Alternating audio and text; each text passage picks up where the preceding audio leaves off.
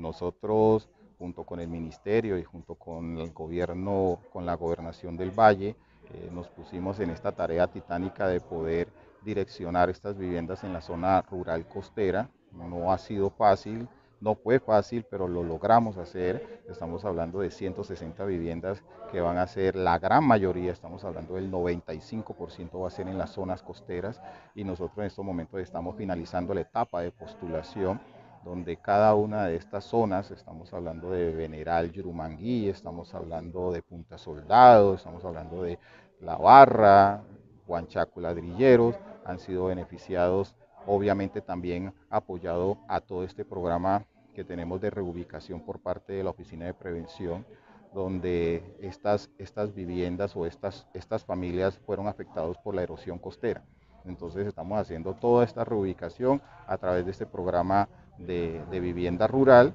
y pues obviamente ya estamos finalizando toda la etapa de postulación. Eh, tengo entendido que ya se cerró la convocatoria por parte del Ministerio de Vivienda para poder eh, para tener el contratista. Estamos a la espera del contratista para la ejecución de este gran proyecto para, para Buenaventura y, y bueno, la idea es que esta alcaldía está comprometida con la zona rural en materia habitacional. ¿En cuánto tiempo, digamos, es la ejecución de este proyecto de vivienda rural?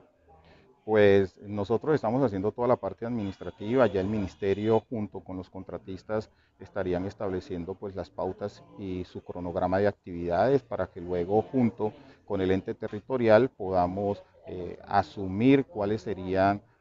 toda, esta ruta para poder eh, empezar a hacer las ejecuciones. Eh, obviamente tenemos complicaciones, no es lo mismo hacer vivienda en la zona carreteable que en las zonas costeras. Es algo nuevo también para, para el Ministerio de Vivienda que se propuso desde la Alcaldía Distrital de Buenaventura y obviamente estamos en la tarea de cómo eh, podernos sentar para poder trazar esta, esta ruta, esta metodología.